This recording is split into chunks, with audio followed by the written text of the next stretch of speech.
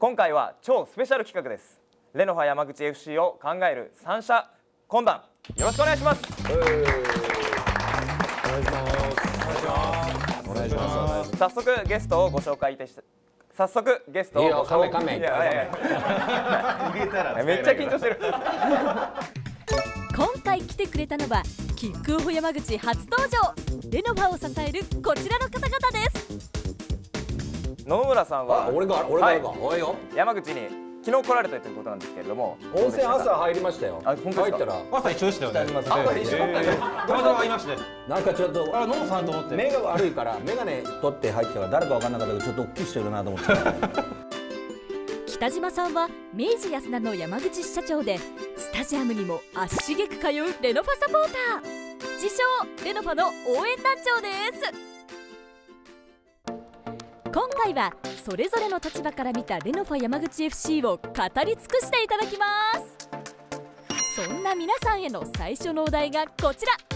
レノファ山口 FC の躍進のわけ現在プレーオフが狙える位置にいるレノファを皆さんはどう見ているんでしょうか。はいそれでは一斉にフリップのオープンをよろしくお願いします。どうぞ。はい。おお三者三様。それぞれの立場ならではの答えが並びましたね。まあ、いろんな語り口あると思うんですが私中から見て思うのは対話なんじゃないかなと思ってます、まあ、あの試合が終わった後、まあ勝っても負けても皆さんこう上がってくる時に選手自身も結構毎回違う選手とあのいろんな気づいたことを会話して上がってきてるっていうふうに私から見えていて、まあ、そういったところあのクラブ全体であのコミュニケーションをしっかりとって次はもっと良くしようしているところがあの成績に表れてきてるんじゃないかなというふうに思ってます。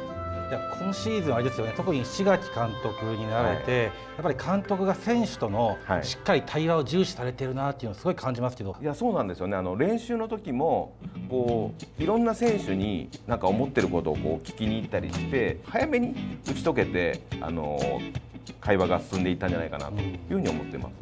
で夏場のこの移籍の時期も今回レノファの選手山口を離れる選手が少なかったんじゃないかなと思ってですねやっぱりこの山口は選手がまず愛してるっていう一番とあのやっぱりどんどんどんどん日を増すごとに山口県民のレノファ愛がレノファ愛が高まってるなっていうふうに実感してますそういう意味ではこの目に見えないこの愛の力っていうのがですねレノファの躍進の鍵になっていると私は思っています一方野々村チェアマンの回答はメディア J リーグって各地域のクラブとかサッカーの露出がそれぞれの地域でどのぐらいあるかっていうのをデータ取ってるんですよね。でそれって今年の全国で山口県のサッカーの露出ってで静岡長崎広島に次いで4番目。でそれだけ多くの露出をメディアの皆さんがしていただけているエリアっていうことなんだけど。でやっぱ勝つために必要なのってやっぱスタジアムの熱量とか街の熱量って絶対に必要で。でそれがやっぱメディアの露出のおかげもあってきっとこの地域にあるんだろうなっていうふうにはまあ思ったんで、まあ、メディアっていうやっぱりそこの力っていうのはうん。大きいですか、それはぜ絶対やってる選手もやっぱり分かると思うんだよね、なんかサポーターに勝たせてもらったっていうようなゲームとその空気感で。でそれ作れるかどうかってやっぱり人数とか熱量って絶対必要なんで。いや本当そうですね。あのやっぱりこう昇格した頃一回すごい盛り上がってあの頃のレノファってこうよく言われるんですけどやっぱその間に今度コロナ禍があったりとか、まあ、あの成績の低迷があったりして本当に人が来ない状態になってたのがあのもう最近は1万人超える試合も繰り返し開催できてきましたのでようやくまたあの頃に戻れてきたというかあの頃の夢の続きをまた追っかけられる状態になってきたなと思いますので。はい、あのお二人が言っていることが本当に影響して今の形があるなって思いますね。キックオフからも山口愛送り続きますよ。そして来週のトークテーマは J1 と J2 の違い。お楽しみに。サッカーはサッカー場でやってるのを見たい。とお金出してくれ。る いろんな事情があって今すぐにはソフトを仕掛けるんで。すね宇部市ではパブリックビューイングが行われおよそ300人が選手たちへ声援と思いを送りましたぜひこれから連勝で頑張ってほしいです。頑張ってください。温泉で千葉とやって負けてたので今回は全力で応援したいです。残り7試合昇格争いに踏みとどまるために大切な試合です。レノファは何とか先制したいところでしたが前半43分ピンチとなります。そしてエドワルドだキパープチー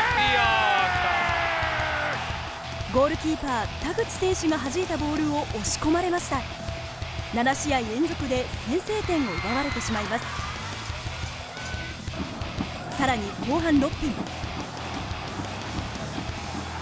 これで2点差。昇格争いのど真ん中で逆境のレノファ。得点できぬまま過ぎていく時間。後半41分にようやくチャンスを迎えます。間のシュートキーパーセカンド酒井。フォワード酒井選手が1点差に詰め寄るゴールを決めました。これで希望が見出せたと思われたのですが前がかりになって攻めていたところで手薄になっていた守りを突かれました手痛い失点。その後さらに1点を奪われたレノファまさかの4連敗で9位に順位を落としてしまいました。ここからはねあの守るものはなくなったのでしっかりと上だけ見てリスクを冒してね、えー、積極的にやりたいと思います。レノファは現在9位です。次の試合は明日午後2時キックオフ。下関市のセービング陸上競技場で5位の仙台と対戦します続いてその他の試合です。周南公立大学ウィンフルムとレノファレディースの試合は2対1でウィンフルムが勝利しました。レノファレディースの次の試合はなでしこリーグ2部入れ替え戦予選大会。南葛 SC ウィングスと対戦します。明治安田と J リーグのパートナー10周年記念マッチが行われた今月7日。野々村チェアマンも会場を訪れ明治安田が設置した体力測定を体験しました。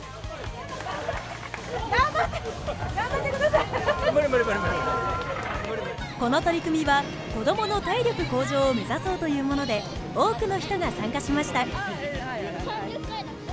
血管年齢を測定できるブースも設けられサポーターが健康チェックしていました。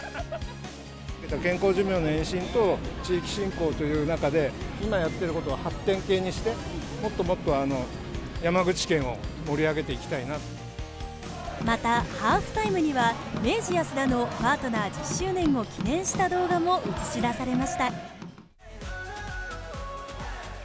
トップチームは明日下関で仙台と決戦です。ここからの巻き返しに期待しましょう。キックオフ！山口！